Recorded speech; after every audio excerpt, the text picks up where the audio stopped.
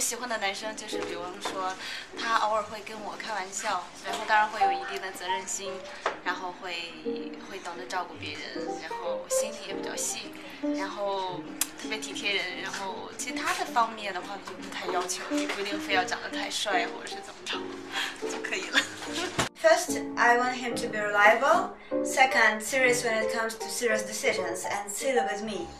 Uh, he also should be smart, good looking, real personality, very strong but sensitive in a way. 呃，喜欢可爱的、性感的女孩。我喜欢那种为人忠厚，呃，嗯，做事比较勤奋， 然后最好是高一点、帅一点的。